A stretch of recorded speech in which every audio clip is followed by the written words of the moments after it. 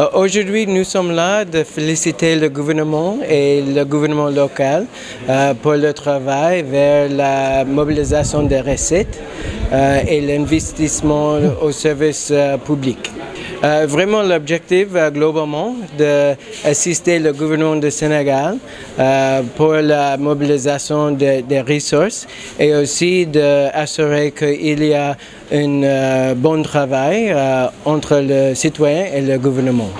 Au- Aujourd'hui, euh, nous avons euh, donné quelques matériels euh, comme le logiciel et le, le, le computer de, de faciliter la, la, collecte, la collection pardon, des recettes au niveau local.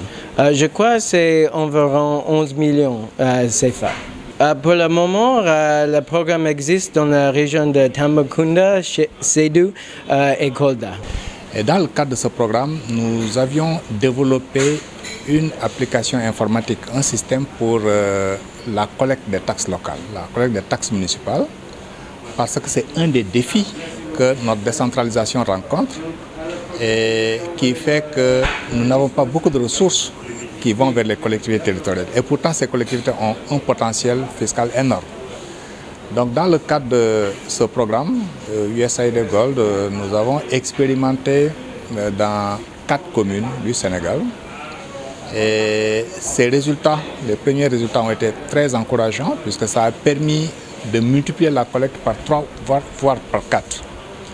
Aujourd'hui, nous sommes ici pour euh, donner cet appui institutionnel au gouvernement du Sénégal, mais au ministère et à travers la Direction générale de la comptabilité publique et du Trésor pour leur permettre de passer à l'échelle.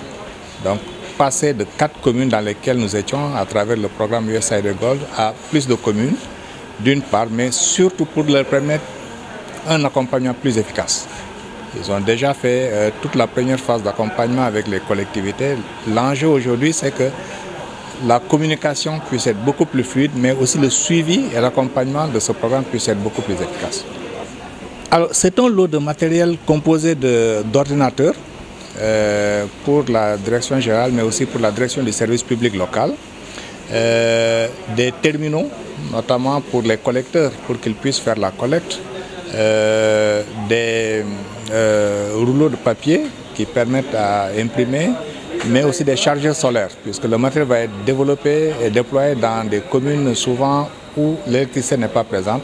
Donc on a prévu des, des chargeurs solaires pour que le matériel puisse euh, avoir une autonomie et continuer à fonctionner.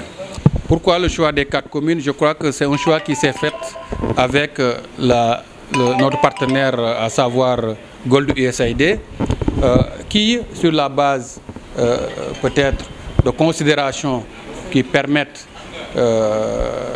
une bonne mise en œuvre de, de- de- de- l'application e-tax. Parce que ce qu'il faut juste euh, préciser, c'est que c'est une phase test. C'est une phase test et euh, le projet Gold a eu à intervenir sur certaines collectivités territoriales en dehors de l'application e-tax. Quand il s'est agi de développer euh, une phase test également avec e-tax, ce choix a été un choix de raison parce que c'est des collectivités territoriales que le programme a eu déjà à accompagner dans d'autres domaines.